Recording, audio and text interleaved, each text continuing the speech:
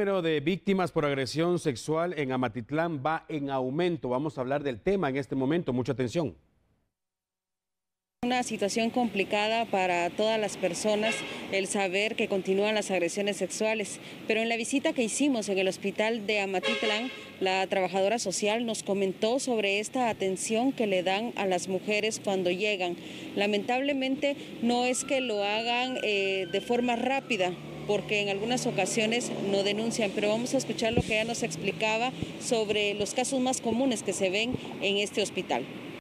Lamentablemente la mayoría han sido niños y han sido adolescentes, eh, tanto niñas como niños.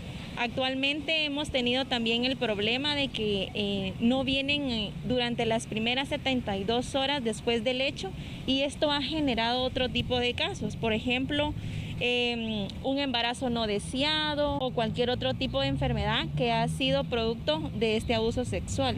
Lo que estaba explicando la trabajadora social es que cuando se dan estos hechos no se puede dar una mejor atención a las víctimas de agresiones sexuales.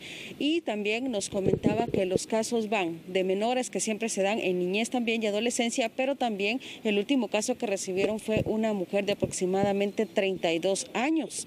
Ella explicó que estaba en la calle del municipio de Matitlán cuando de pronto un hombre se la llevó a la fuerza. Y no eran horas de la noche, sino que fue en pleno día que se la llevó y la agredió sexualmente. Esta mujer quedó totalmente dañada y está recibiendo una atención psicológica. Llegó al hospital a tiempo para hacer el procedimiento correspondiente.